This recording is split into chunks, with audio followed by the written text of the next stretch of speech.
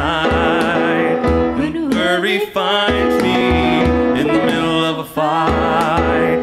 When strength is gone in the middle of a fire. When fear is closing in.